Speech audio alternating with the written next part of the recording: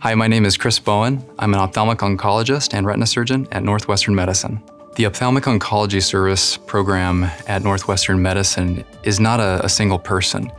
It's an integrative, united group of experts that are working together to come with a common goal of creating better survival and better visual outcomes. Our team includes myself, an ophthalmic oncologist, radiation oncology, our medical physicists, our own in-house ocular pathologist, as well as our cytologists, and then our world-class medical oncologists, we are fortunate to be able to offer the full suite of ophthalmic oncology care, uh, including fine aspiration biopsies for diagnostic as well as genetic profiling, surgical excision, plaque brachytherapy, as well as personalized proton beam therapy for intraocular tumors.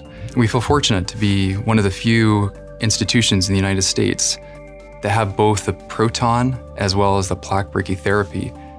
This means that when patients come to us, we can provide them the personalized care that they need and choose which one is needed based upon the tumor size, the location, and morphology.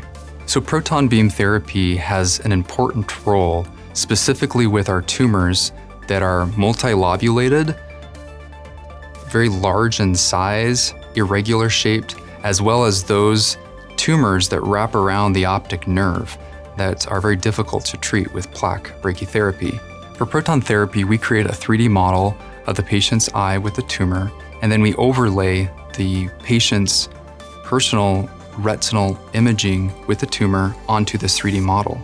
Then we place tantalum clips in order to guide it uh, to the, the tumor specifically. This provides a personalized treatment plan, uh, not relying on a standardized model. We've found that through our approach that there is less uh, eyelid scarring and less uh, dry eye symptoms. Plaque brachytherapy is a very effective method for treating eye cancers. As you can see here, this is a, a gold-plated plaque, and inside of it are uh, iodine 125 seeds that de deliver low dose, gentle radiation to the tumor. Depending on the size of the tumor and the location, we can load these with certain doses and locations to provide exactly the treatment that is needed.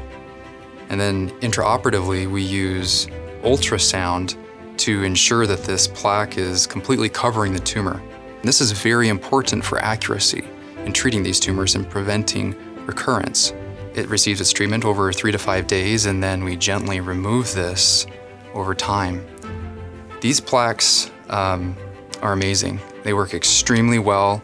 Um, we have excellent success with them, um, specifically uh, for tumors that are well circumscribed. Additionally, when we're treating our retinoblastoma patients, and uh, we're using intraarterial chemotherapy, but we need an adjuvant treatment, we will use these plaques to surround the, the tumor as well as, a, as an adjuvant treatment, which we find to be very effective.